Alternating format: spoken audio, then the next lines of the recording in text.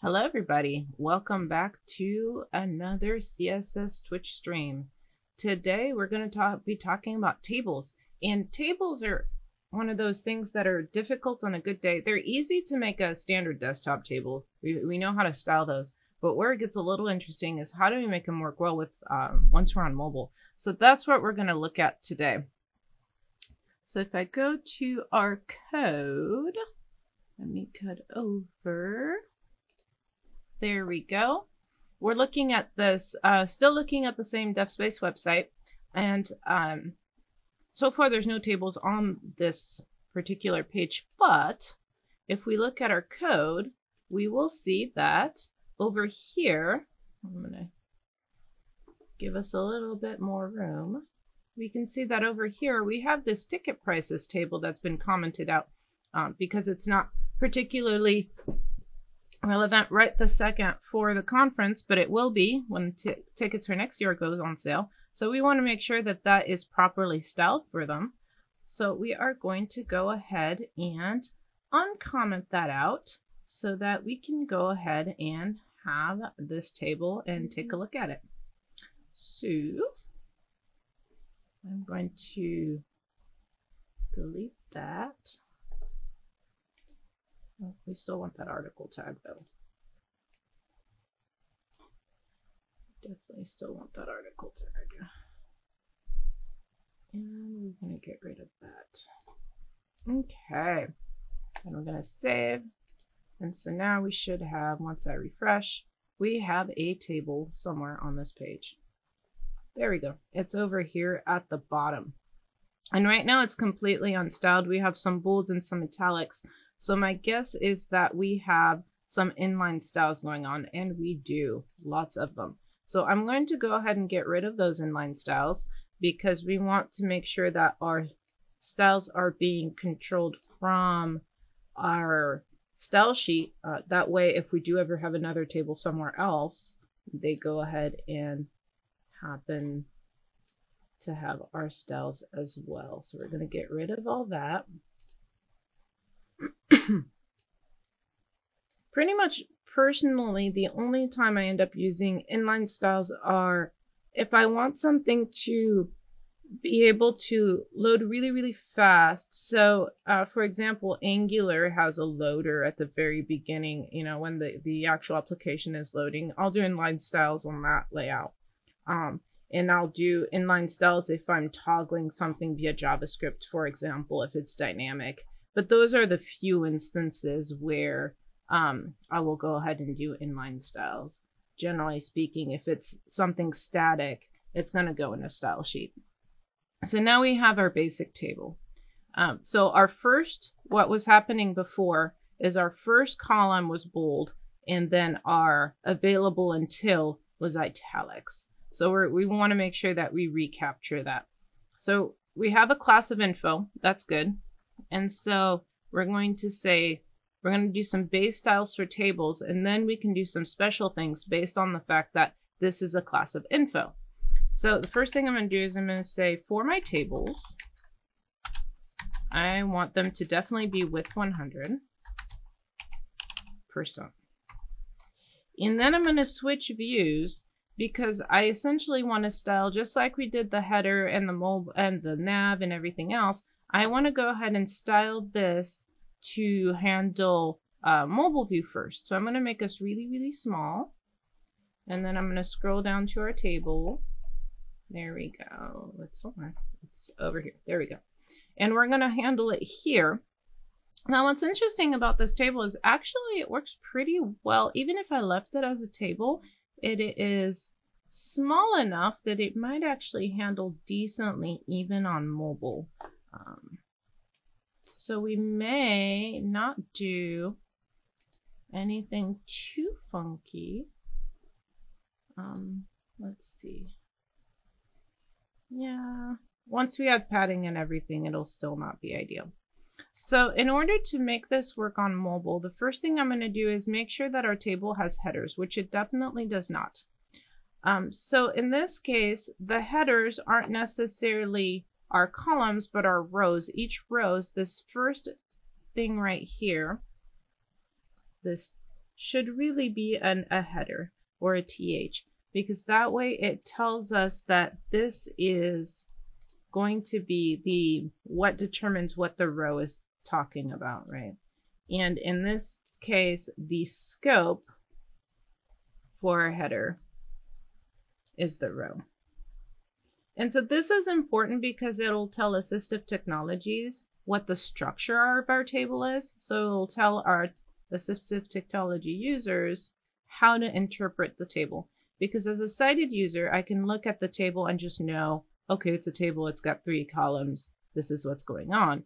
If um, if I can't see the table, it's a lot harder to differentiate that. So this didn't change a whole lot other than now our headers are styled like headers and we still have our three columns. So the next thing I'm going to do is I'm going to go ahead and say that we are going to go ahead and deconstruct the table a little bit from a CSS standpoint. I'm going to make this table actually act more like cards for each of the prices and then go back and um, once we're in, in desktop sides, reconstruct it back into a table.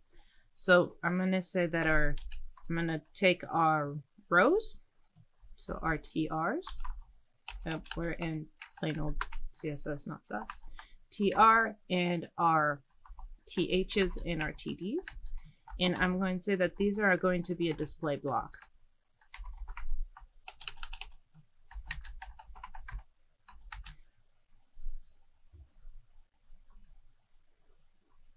Now we are starting to have something going on. And now for each of these prices, now we can style this into something a little bit more card-like, right? So I'm going to take our, I don't mind this first one being bold. Um, our headers being bold is not terrible. Uh, and, but we definitely want to give it some breathing rooms. So I'm going to take our rows, so our TR, and we're going to give it a margin, margin bottom of one rem. Because now we're in display block, we can do that. We could totally not get away with doing that on a uh, on a table, but we can because we've set display blocks. We lose the fact that it's a table in this case. And so now that we have a margin, we're going to have a little bit more space. And then we're going to give it, make maybe make it look a little bit more card-like. So we're going to give it a box shadow. Actually, that might be a little excessive for this case. I'm just going to give it a border bottom. And remember last week we ended up making that super cool um, linear gradient border image. We're going to do the same thing to keep consistency in our UI. So I'm going to take this border.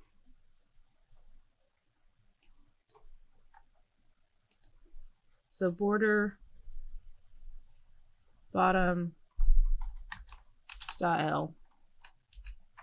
To say 1px. And then border image. That's where our gradient comes in. Oh, I think I have it twice. I do have it twice.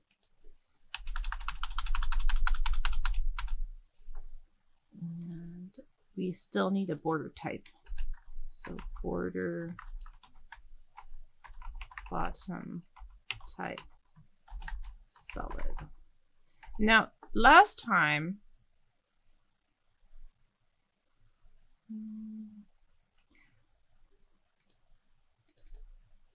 Oh, uh, style is solid. That's what I'm doing now. Style is solid. Width is what we need for the 1px. My bad. Okay. So last time we had a, we put a, uh, we made it rotate, right? We put a 45 degree in our angle because we were going all the way around the box. In this particular case, we're not going to want the degree because I'm just putting a line underneath each of the sections. So we're not going to want that that curve. We're going to want the gradient to go from light to dark or from dark to light. We're not going to want the, the diagonal. So I'm going to go ahead and take, see this 45 degrees? I'm going to take it out because that'll make it linear uh, from left to right. Should be anyway. It might be top to bottom. I don't remember. If that's the case, we'll fix it. So see, we're going from light to light. I can't tell. Let's add a 50. Let's add a, let's add a, instead of 50, we're going to do, so half of 360 is 180. Actually, we want 90 maybe, because we want to turn it 90 degrees. That makes more sense. Mm, I liked it better before. So we're going to leave it straight up from left to right.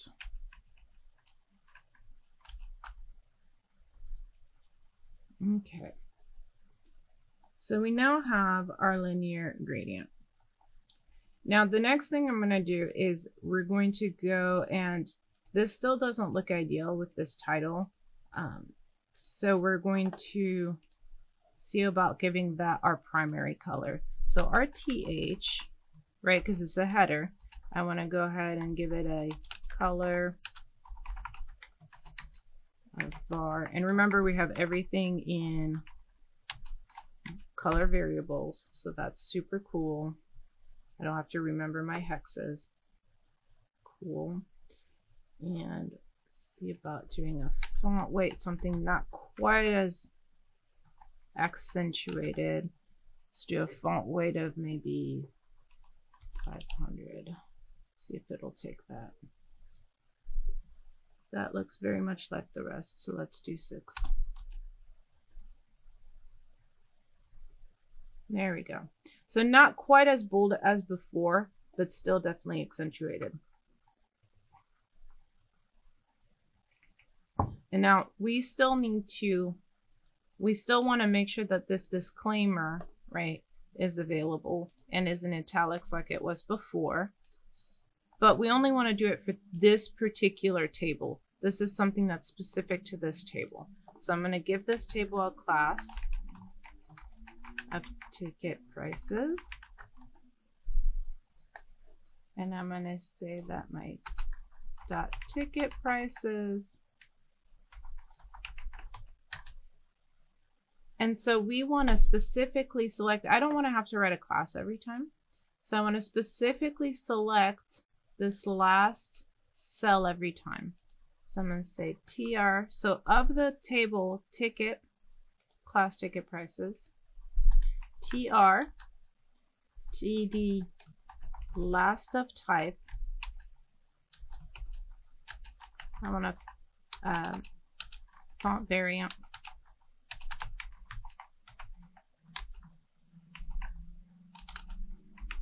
um, is it a text? It's a, I can never remember how to do italics. Font style. There we go. Italic. And so this specifically selects the last cell out of every row, right? So if I go back over here, yeah, we're saved. There we go. And now we are, in fact, italicized. So the last piece we're going to need is to give these a little bit more breathing room ver uh, vertically, right? Um, so we're going to give our TDs, there we go, a little bit of margin. And the reason I use margin is because margin between elements can collapse. And so if I say a margin of 0.5 rem,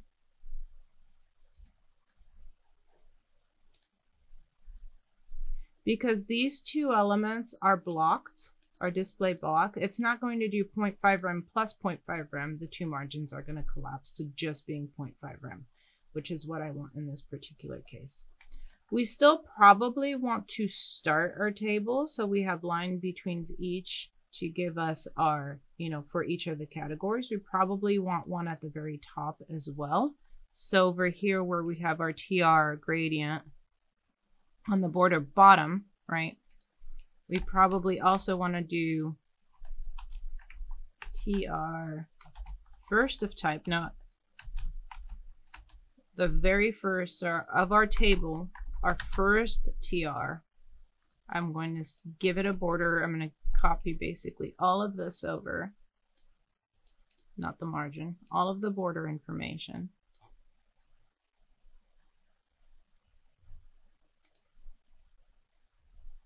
Except I'm going to change all of these bottoms to same top. Border image stays the same. And so now that first one also has a top. And why is it not blue like the rest of them?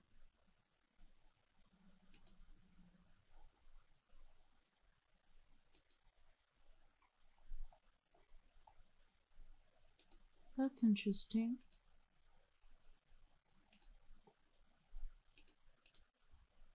Top, top, image. Hmm. It's already being assigned. No point in assigning it twice. That is really weird. Border top style, border top.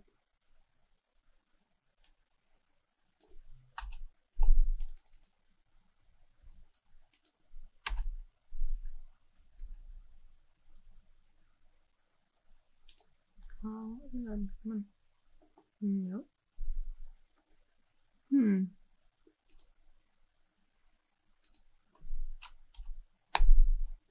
That is very interesting. What if I do my tabletop? I just say on the table. Find out if it's a. Hmm. I wonder why it's not taking the linear gradient.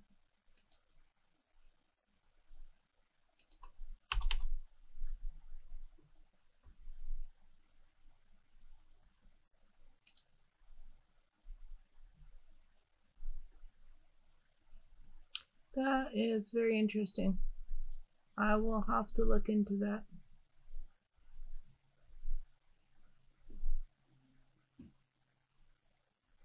Okay. I'll look into that offline because that's one of those weird things to debug. Alright, so the last thing we need is we do need a little bit of padding over here. So the same way we put padding on our TD, we kind of want that on our TR as well and our TH as well. Make sure it's got some, a little bit of breathing room as well. Okay, so now we have something that looks nice on mobile, but as you can see on desktop now, that's a little overkill, right? We don't need to be doing all that jazz. We can go and make this a normal table again. So to make it a normal table again on, on mobile, I'm going to take in our media query, we're going to start rebuilding the table. So the same way we said that, see these three, we did a display block. These need to go back to being, to behaving and displaying just like tables. So we're going to say, uh, I'm going to paste this so we don't remember, forget any of them. So our TR gets a display of table row. RTH gets a display of table. Table. Its header. Its cell.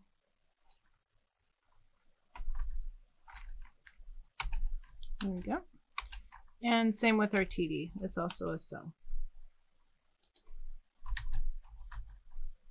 And now we can get rid of that because I just put that to make sure that we didn't forget anybody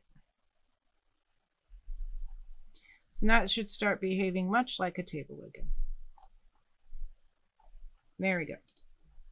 Now we need to give that some borders and some margins and some paddings and some fun stuff, right? So we're definitely going to do a, I'm going to put this just in general on tables because it's a good thing to have. Let me say border collapse.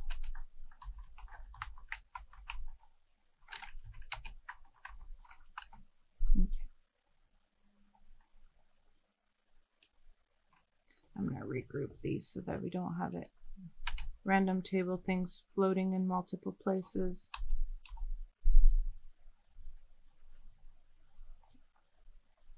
Cool. We now have a table. So let's give ourselves some padding. So now I do have to use padding. Margin no longer works. So TH, NTD, we're going to need some padding.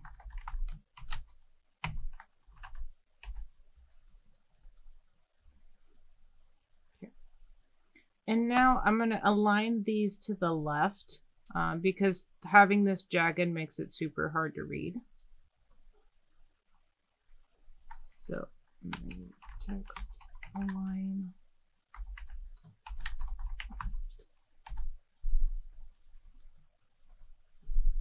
And now we have a pretty table even for, for, for desktop and for mobile.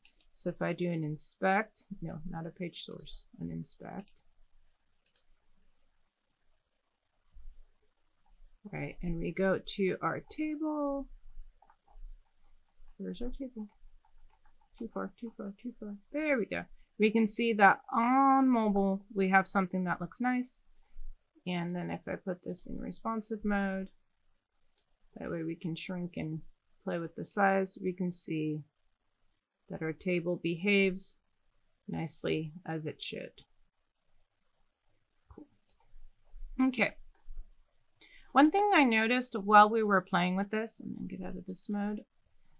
What that what I was playing with this is we can we have something going on with our buttons. We had set them up nicely, and now we have this being dark and this not playing nicely. And so I think that somewhere when we were setting up some buttons, um, we have some scoping that crept or that overrode some things where it was not supposed to.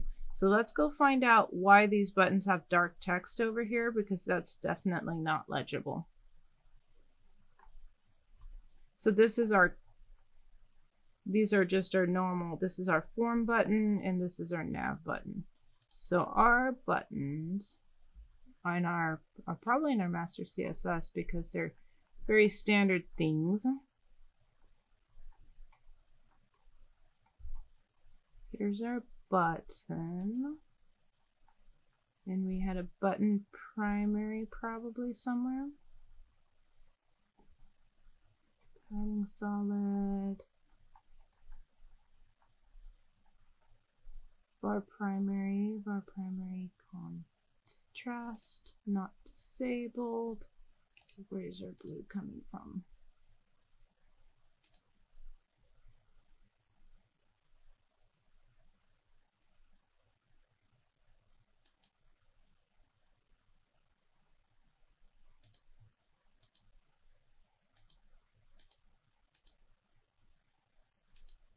Is our primary contrast color just wrong? Let's find out. Primary contrast is definitely white. That's not it. So where is it getting that from?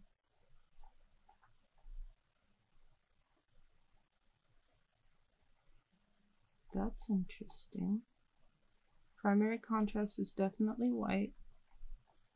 I wonder if it's not liking the fact that I just simply typed in white. Let's try doing it as a actual.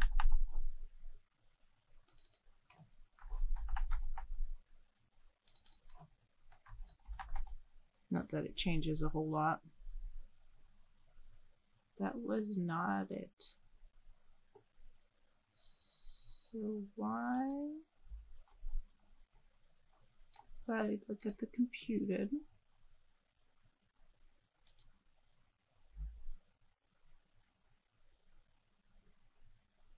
Background color, regular color. Where are you coming from? What?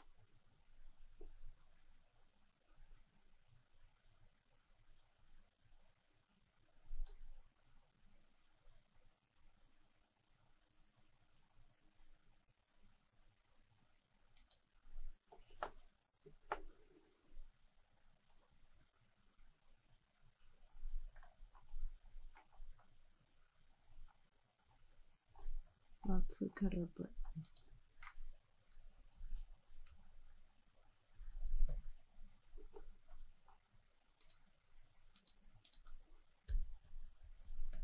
Make sure it's nothing, what I'm doing right here is making sure that the issue is actually with this variable instead of with the color itself or with something overriding it.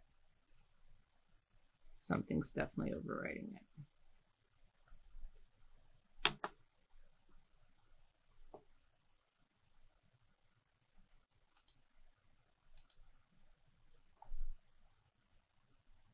Hmm.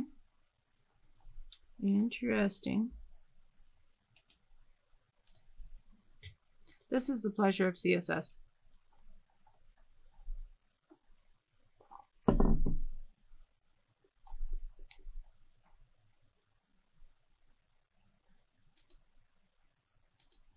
Okay, so it's definitely a primary contrast that's not working correctly. Does it not like having a dash? I don't remember dashes being a problem, but let's find out. I mean, I've put dashes and stuff repeatedly before. I don't see why that would be primary contrast. It is set on the body.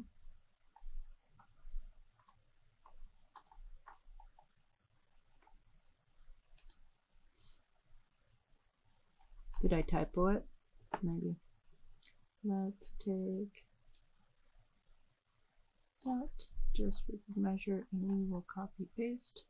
And if that doesn't work, we will check it up to, I need to figure out what's going on offline because the dashes inside should totally work. Where are my buttons? Primary contrast. Nope, that didn't change anything. Hmm. And the reason that I know that um that the, it works with the dashes inside is because our hover totally works. If I go back over here and our hover um, has a dashes and has a dash in the middle. Well, now it worked. So maybe it was a typo situation because now it totally works. Awesome, we fixed it. So the next piece we're going to look at is some forms. Try to clean some stuff up. This form once I get into some wider screens, as you can see, starts having some behavior um, that I don't particularly care for.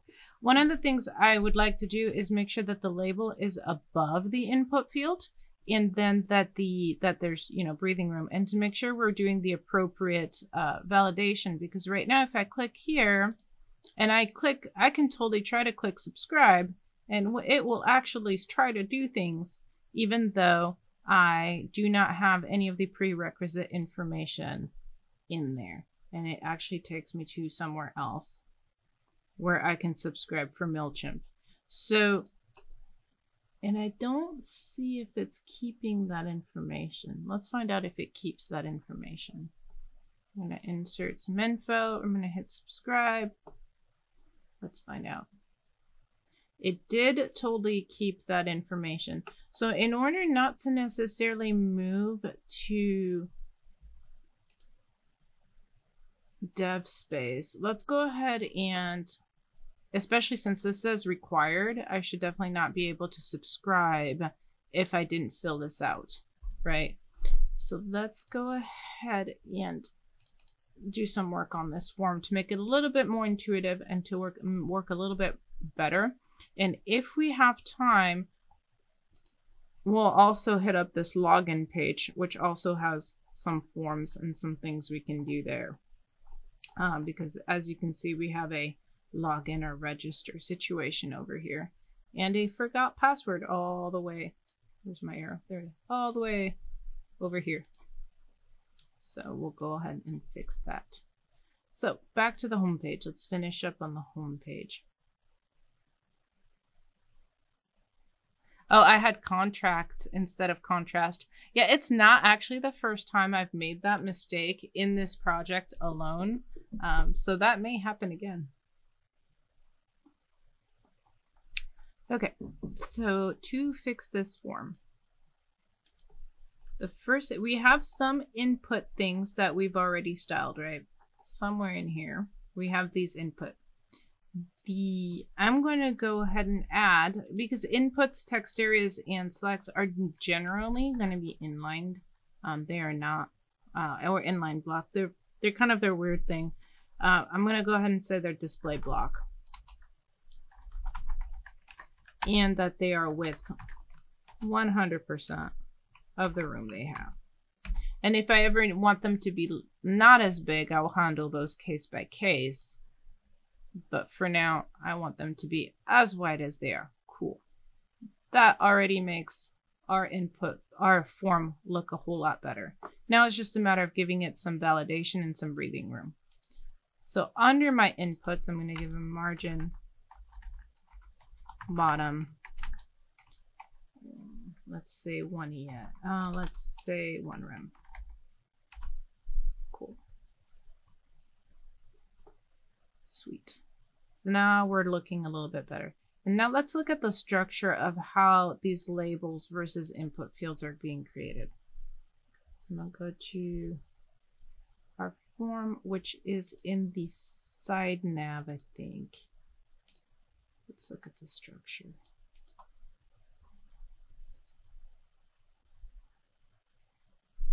Now, whether it's left or right, I don't remember, so we'll have to find it. Begin MailChimp sign-up. There we go. Perfect. We landed directly on it. Input type email, value, name, class required. Email, like we don't need that anymore. And we'll keep the ID.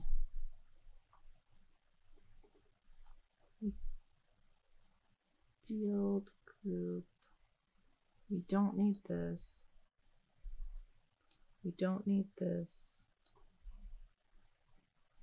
We don't need this. We definitely don't. Uh, we do need the four. That is to join the labeled and the input so that the label and the input um, are grouped together. We don't need that. Name class, we don't need that.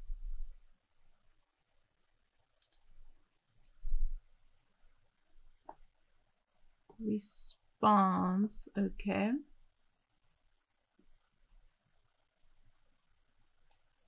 Position absolute left.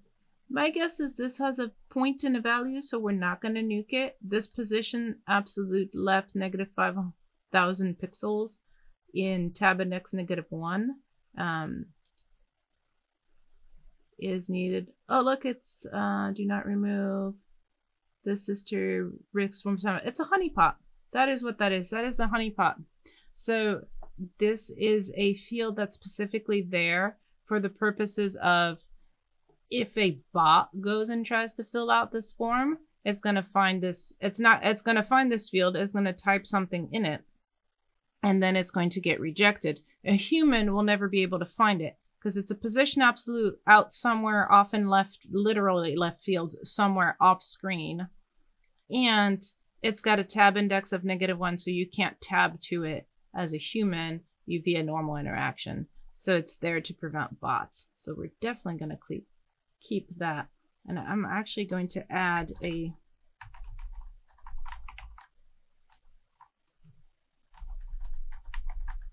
So if should visibility hidden, so should somebody accidentally stumble on it, they wouldn't even be able to see it. And then clear so class clear. We don't need this class clear. Class name, definitely not. Type submit, value subscribe, name subscribe, ID, class button.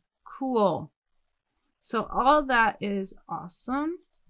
The one thing I am going to add on here that is not currently on here is to help things like last passes, not that it really matters for a sign up form, but uh, unless you have those preset, it's going to do an autocomplete.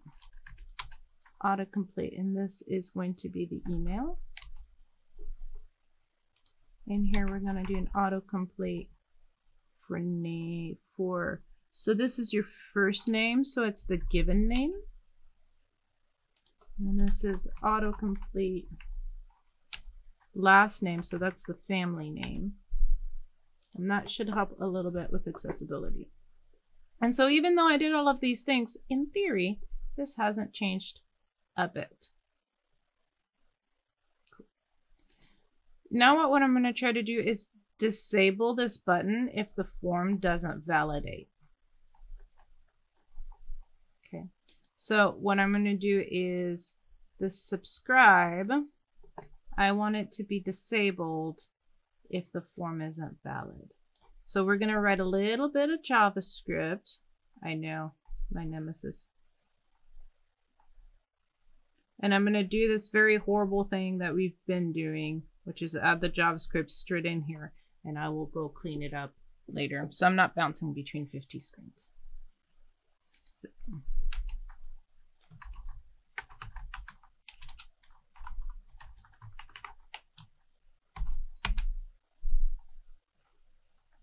We're going to find this this form right? Actually we should be able to do an auto validate because it has required and everything. I may not need to do it in JavaScript. Does this actually say required on it? Okay so this label says it's required. However our form does not say it's required. So now that I do that it won't disable the button, but what it will do is if I try to submit, let's say I just put my first and last name, and I remove that, it should, no, it still took me.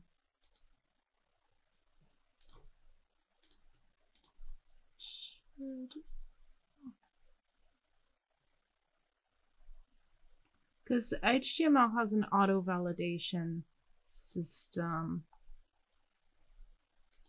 Let's look it up because I don't remember exactly how this works. HTML auto validate or prevent submit. No, not Facebook. That's not going to help me much.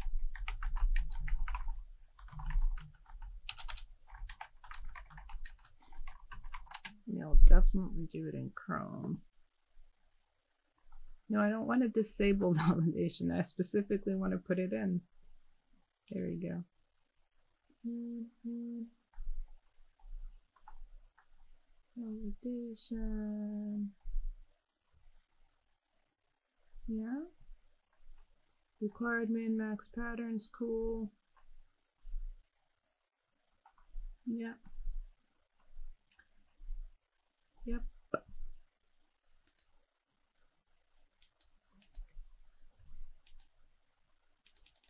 Hmm.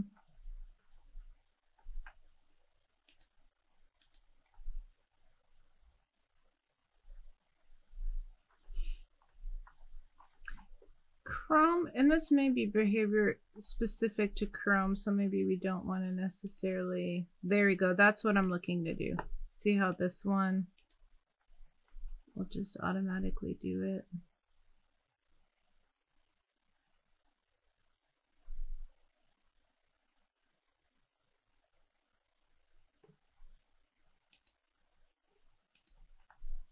Um, step. Hmm. So it's doing it here, and we have a form, and we have its action, we have its method, and a name, and a target, and we have a no validate, and that is why it's not validating. There we go. So now, If I try to do the same thing I did before, it should yell at me. And it does. Perfect. Awesome sauce. Okay. But however, on the flip side, since these two are not required, I should be able to go ahead and subscribe. Is already subscribed. Yeah, yeah, yeah, yeah. Well, it's is it going to force? We'll give him um, the same email address. There you go. Is it gonna let me do that?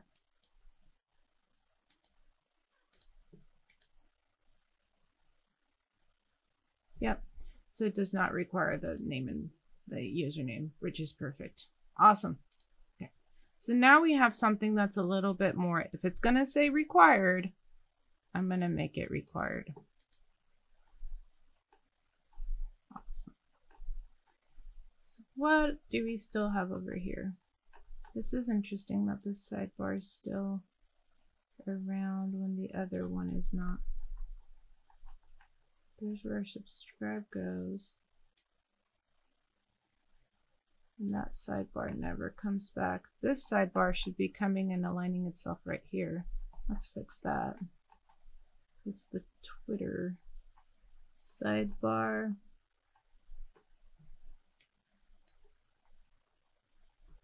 So it's in Twitter is definitely in the when the same sidebar.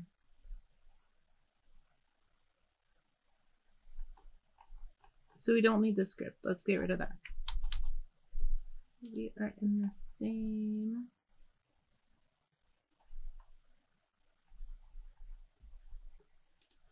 section, left sidebar, article, article.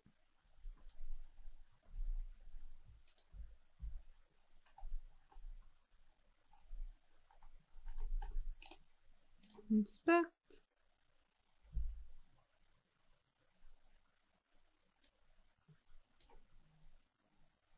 I think today, no matter what I try to show you, this particular layout is going to argue with me. Mm, it is not being put in our side. That is very interesting. Why is it not being put in our side?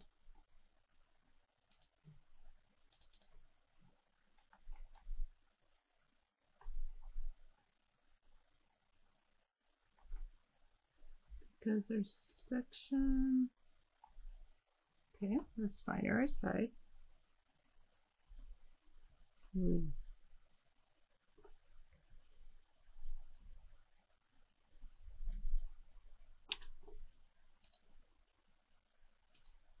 Include left, include right.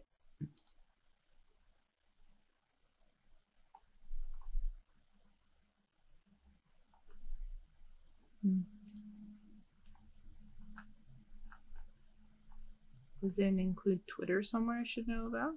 No.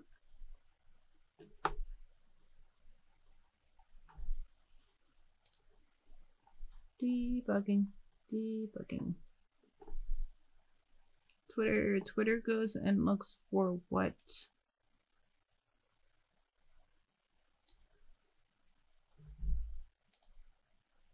Yes, it's definitely cooking for that's Twitter. That should be in H2. That has to do with the templating somehow not behaving the way I understand it to behave. So this is interesting. If I look at another page where I haven't messed with the layout, that's sometimes a, a good way to debug these things is to look at a page where you haven't messed with the layout. Inspect. How is it setting this up?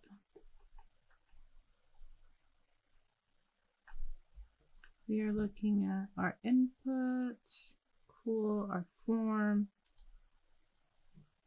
our clear, our new article, and our section. Okay. So why is it not doing the same here?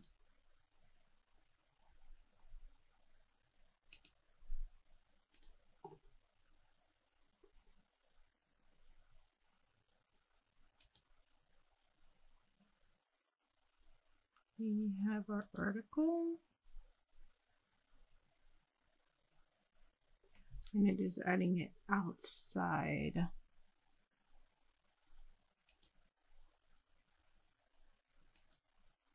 Right sidebar. That's very interesting. I wonder I wonder if it's because it has these no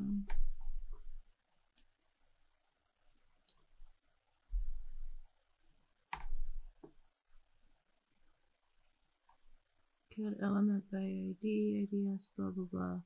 Script, Twitter, WG, yeah.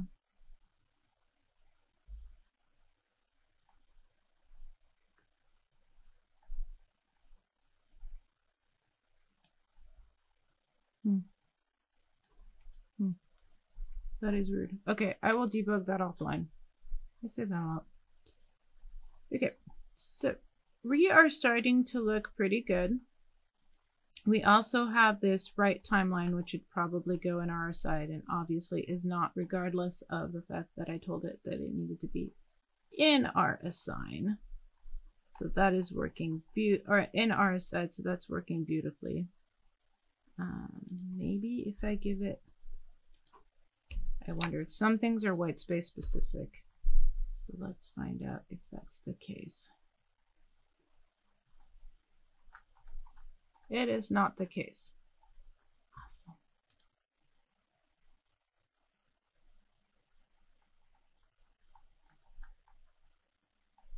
Why? Now I'm now, now I'm really curious because here's what's going on. We have our left sidebar and our left right sidebar that are in this aside, and we have our main. Main body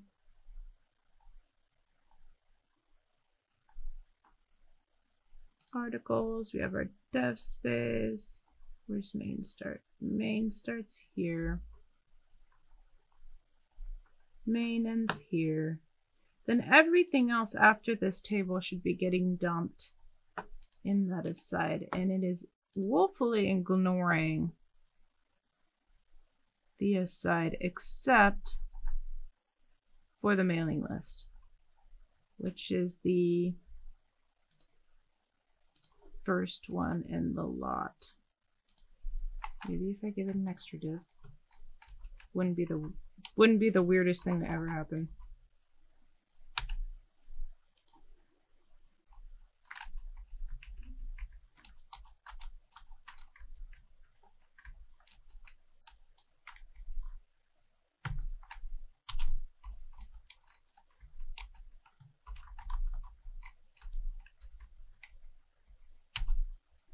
find out.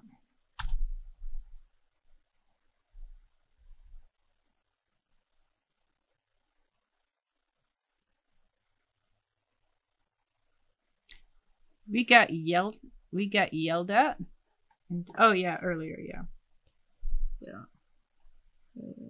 So that still did not fix it. I'm not sure why. I will have to look um I would have to, I'm going to have to look up this templating system a little bit closer to see what's going on with that. So let's move on to what you actually came for, which is some actual CSS and not me trying to debug why this isn't putting the components where they belong.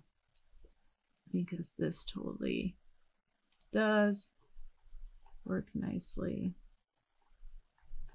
in theory. Okay. So we have a nice page. We have all of our, we have call to sponsors nicely done. We have ticket prices nicely done. We'll get some images in here. Let's look at the next page. Let's find out what's going on here. We have sessions.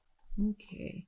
So same thing, we're going to have our, we're going to have a main and an aside so that we can have our sidebar with our mailing list and our Twitter and our sponsors and our PayPal. And then we're going to be able to see we have the call for speakers now open. Uh, we can make that a call to action. So what you're going to see is that all of that setup stuff that we've done in the previous weeks, now we're just going to be able to give class names and set up some class and set up some um, some structure, and that will uh, basically fall right into place, and we're not going to have to write a whole bunch of CSS. So let's see if we can't knock out the session page really quick. So sessions, sessions, let's see, there's multiple files called sessions. So not 100% probably this one. Yep. Okay. So the first thing we had done in our index was separate that main and that aside. So we're going to do that again.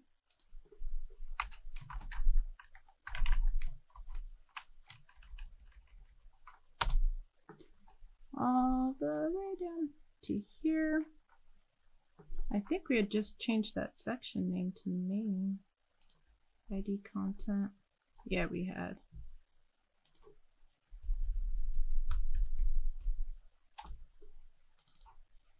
Main.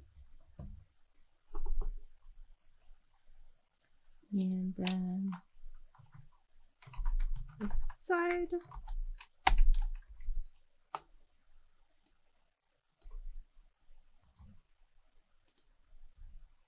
And then save, and that should already start giving us our columns.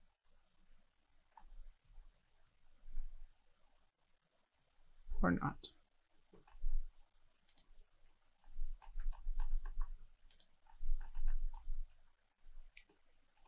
Oh, because I gave it a container because of the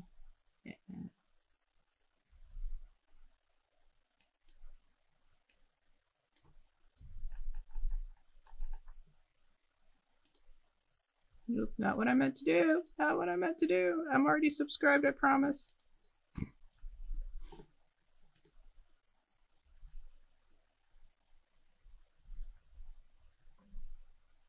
There we go. So we have our call to speaker. Ignore this Twitter thing not placing itself where it's supposed to be. So we have our call. We now have our two columns. If we come back, we have our one column. Beautiful we can fix some, I'm going to format document. There we go. Give that a little bit better idea of what's going on. I personally like two spaces, but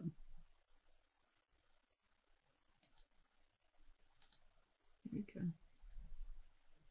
That a little bit more legible. Format document. There we go think it was using tabs before. There we go. Okay.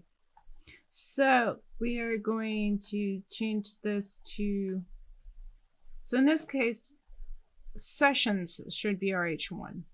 We should at the very top of our body have something like H1 sessions. That's the name of our page. And then these all become H2s. So all of these become H2s. H2, H2, H2,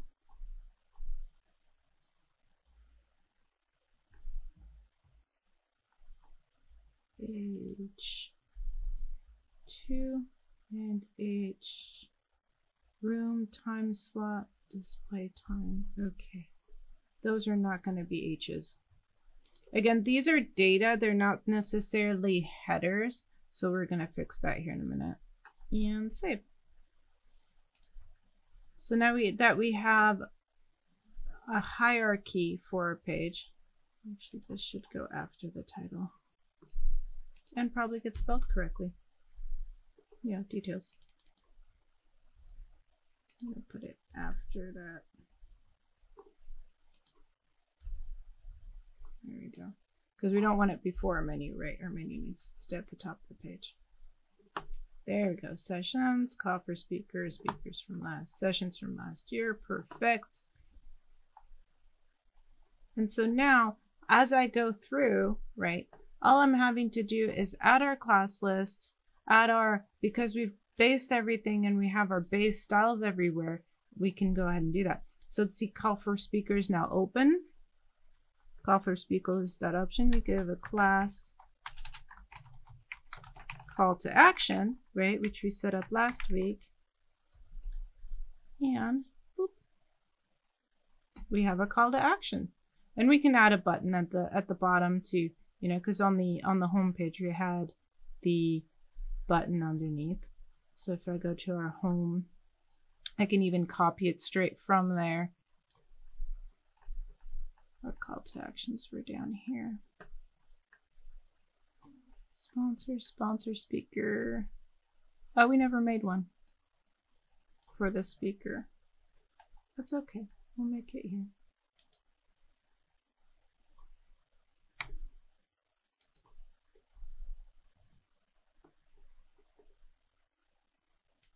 Copy paste much?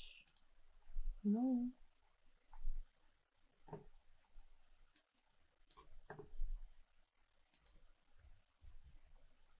There we go.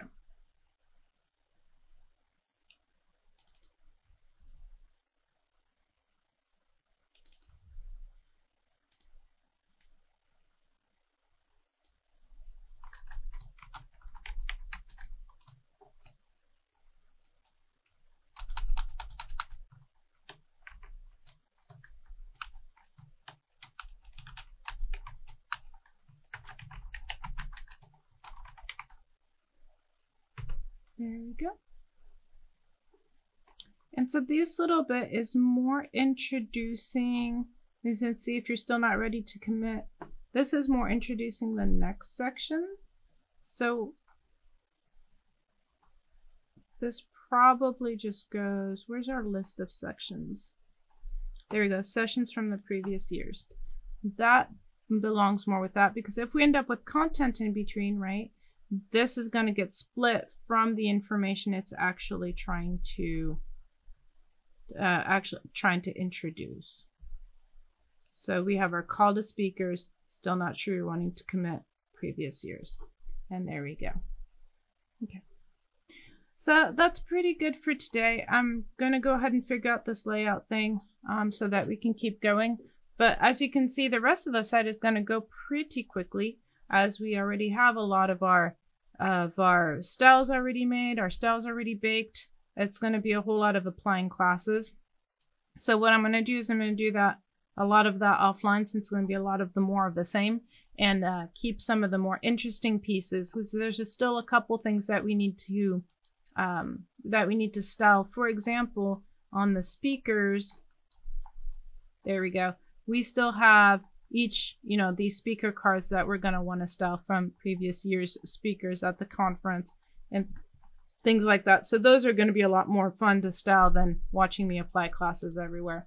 So by next time, hopefully I'll have this layout behaving itself.